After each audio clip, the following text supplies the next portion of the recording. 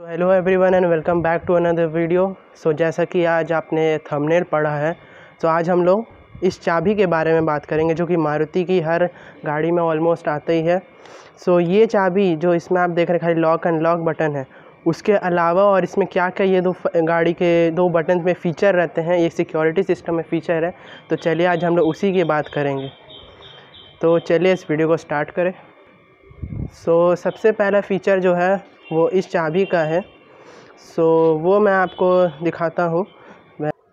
So guys जो ये चाबी का सबसे पहला फ़ीचर है, वो मैं आपको इसका बताता हूँ कि ये गाड़ी जो है, इसमें जो दो चाबी आपको मिलता है, एक लॉक और एक अनलॉक के बटन उसके अलावा आप उस लॉक और अनलॉक बटन से आप क्या कर सकते हैं, वो मैं बताता हूँ। तो पहला फ़ीचर मैंने जो आपको इसमें बताया साइलेंट अनलॉक फ़ीचर वो इस दो, ये दो रिमोट ये दो रिमोट बटन से ही होगा।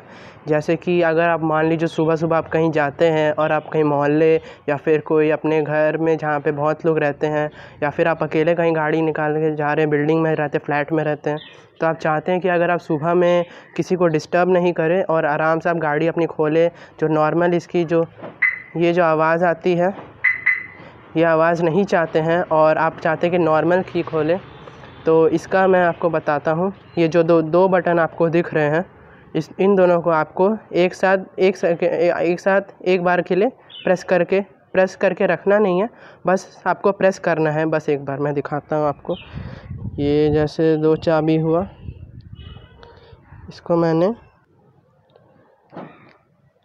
दबाया। अब ये गाड़ी देखिए। लॉक हुई। अनलॉक हुई। ये अब कुछ सेकंड के लिए, पाँच सेकंड के लिए ये साइलेंट मोड में आ जाएगा। आपको इसमें फिर आपको ये आवाज़ नहीं करेगा। पर वही अब पाँच सेकंड जैसे बीत गए। ये नॉर्मल से दोबारा वापस से ट्यून में आ जाएगा और आवाज़ करने लगेगा। सो so, ये था इसका पहला साइलेंट फीचर तो चलिए अब इसके दूसरे साइलेंट फीचर की तरफ़ बढ़ें। तो तो चलिए अब इसके दूसरे इसके फ़ीचर की तरफ़ बढ़ें। तो वो है इसका गाड़ी के अंदर से होगा। वो मैं आपको दिखाता हूँ।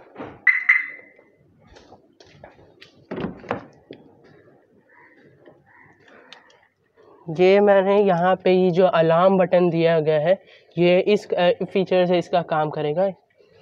ये एक्चुअली ये फीचर जो है, वो होता है शॉक शॉक सेंसर को एक्टिवेट करने के लिए। सो so गाइस इसका जो दूसरा फीचर है सॉक सेंसर फीचर जो कि हम एक्टिवेट कर सकते हो मैं बता दूँ आपको कैसे एक्टिवेट करना है। आपकी ये चाबी है, आपको इसमें चाबी को ऑन करना है ऑन तक ले जाना है, फिर आपको ऑफ़ करके निकाल लेना है। फिर जो ये आपके अलार्म की बटन है, इसको आपको पाँच बार प्रेस करना है। One two three four five five long press करना है। ये आवाज़ की और ये लॉक बटन सो जो अब है, आपका शॉक सेंसर एक्टिवेट हो गया है।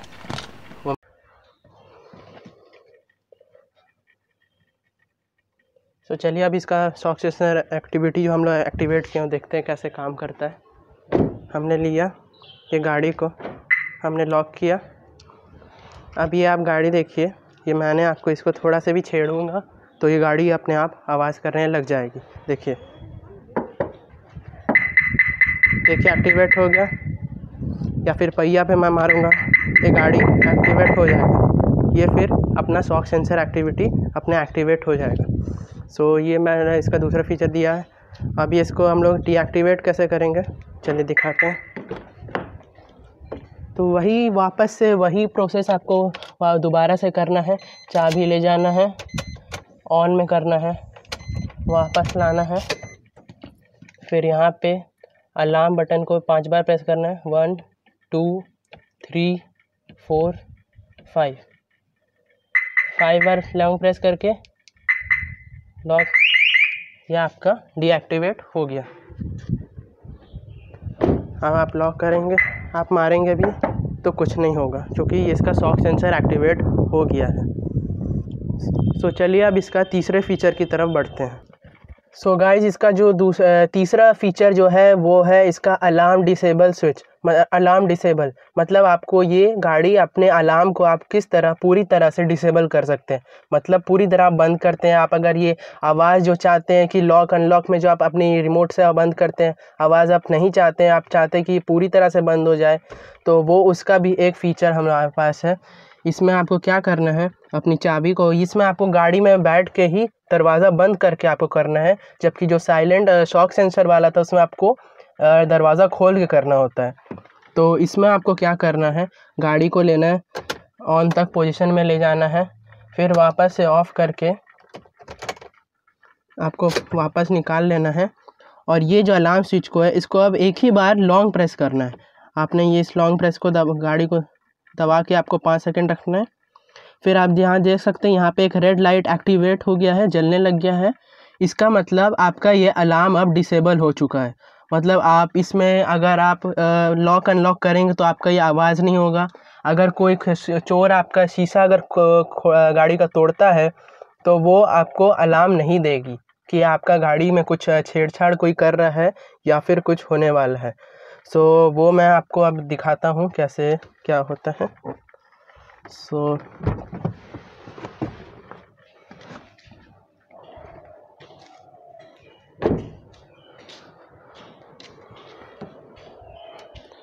सो अब देखिएगा मैं अब गाड़ी को लॉक करूँगा। अब यह आवाज़ नहीं करेगा।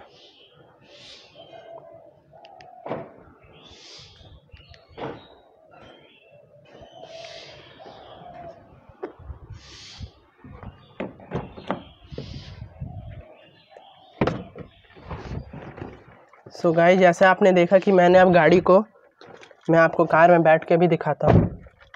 या मैंने अब गाड़ी को देखना लॉक करूँगा। पर गाड़ी बिल्कुल भी आवाज़ नहीं कर रही। इसका मतलब होता है कि ये साइलेंट फीचर जो है ये आपका अलार्म पूरी तरह से डिसेबल हो चुका है। अब ये आपका कहीं पे भी वर्क नहीं करेगा। सो so, अब इस ये आपको अनेबल कैसे करना है? सो so, वो भी मैं आपको दिखाता हूँ। देखिए कांच खोल लेते हैं।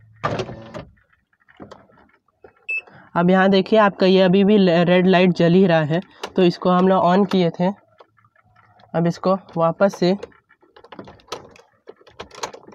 ऑफ़ करके निकालें। अब ये रेड लाइट को सेम वही प्रोसेस आपको दोबारा से करना है। आपको इसे दबा के रखना है। तो जैसा कि आपने सुना, यह आवाज़ एक इंडिकेशन लॉक साउंड आ गया। सो अब ये गाड़ी जो है, वो अब ये डिसेबल हो चुकी है। वो मैं आपको करके दिखाता हूँ।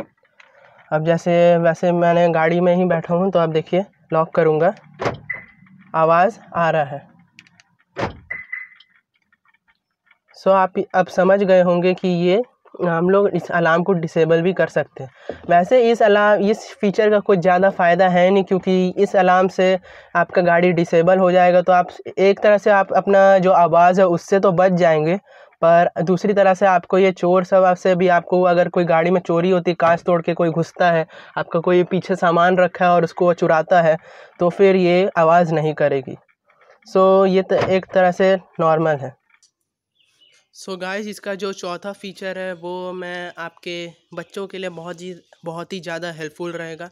वो छोटे बच्चों के लिए, जैसे दो तीन साल के बच्चे हैं तो वो अगर आपकी गाड़ी में रह जाते हैं, छूट आप उनके छोड़ देते हैं तो फिर आप और गाड़ी आप लॉक करना चाहते हैं, चाहते कि वो बाहर नहीं रहे और आप उन्हें छोड़ के कहीं जाते हैं तो वो भी आपको एक गाड़ी में उस तरह का फ़ीचर मिल जाता है।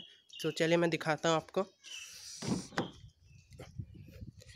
जैसे कि ये आप ये जो बटन देख रहे हैं लॉक अनलॉक बटन इससे ये गाड़ी जो है लॉक हो जाती है और अनलॉक हो जाती है। चारों डोर्स आपके लॉक और अनलॉक हो जाते हैं। सो so, ये जो चाबी है अगर आप इस गाड़ी चाबी को भी आप वापस से अपने कार में ही छोड़ देते हैं आप लॉक करके आप मान लीजिए आप गलती से बच्चों को सिक्योरिटी भी देना चाहते हैं पर आप चाबी जो है वो कार में ही छोड़ देते हैं। तो वो मैं आपको दिखाता हूँ क्या होता है। जैसे कि मैंने ये चारों डोर मेरे लॉक हो चुके हैं, आप जैसे देख सकते हैं। अब मैं आपको दिखाता हूँ, ये चाबी मैंने इसको यहाँ सीट पे छोड़ दिया। अब चारों डोर लॉक हैं। अब मैं दरवाज़ा बंद करूँगा। तो गाड़ी लॉक है अभी भी। चारों डोर अभी चारों डोर अभी हमारे बंद हो गए।